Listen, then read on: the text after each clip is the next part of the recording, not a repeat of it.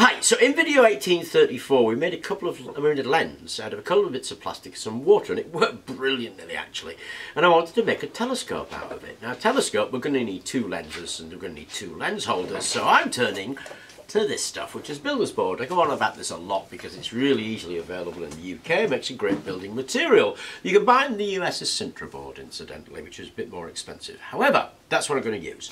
And I cut a square 15 by 15 and drilled a hole in it the same size as the lens hole.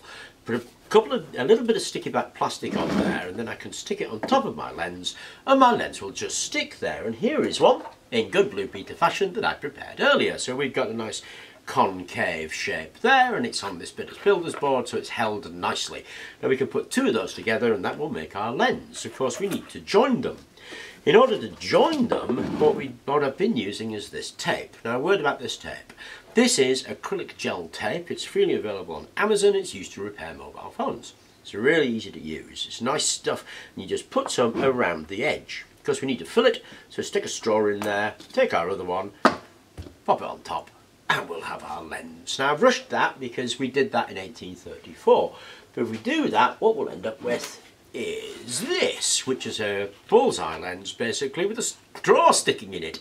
That is now ready to fill with water. Once we fill that with water, we have the same lens that we had in 1834, but it's got this nice chunky bit of plastic around it so we can handle it. And we need two of them.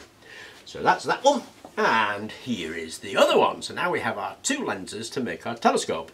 This one isn't as curvy as this one. I blew this one harder, this one more gentle, and we got our two lenses.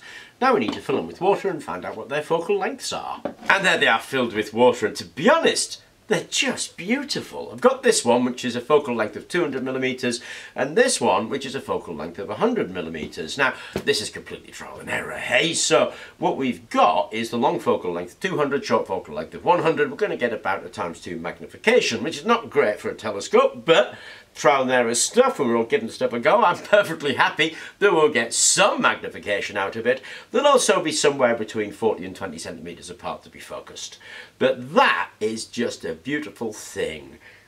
Let me give you a close-up of how it magnifies.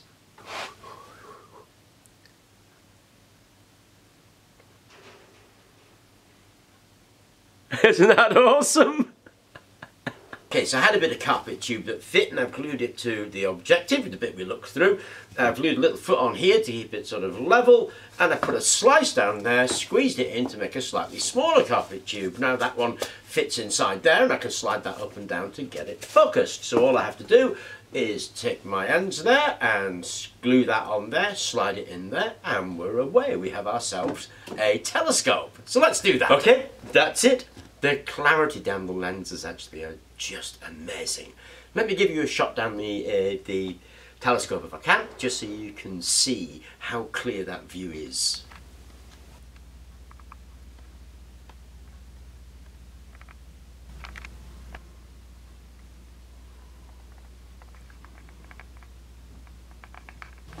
Isn't that incredible, eh? Those lenses beautifully clear, the optical quality on them is awesome. Now, okay, it's only a two times magnification and I need to play around with it a little bit, but here we have a telescope made from scrap bits and pieces for the cost of about, I don't know, two pounds or something like that. So yeah, I could do with playing around with the lenses to improve the magnification, but certainly as a proof, can this be done from water and plastic? Yeah, it can be done. And I thought it was awesome actually, I've really enjoyed doing that. Anyway, I hope you enjoyed the video. Thank you very much for watching and please do remember to like and subscribe.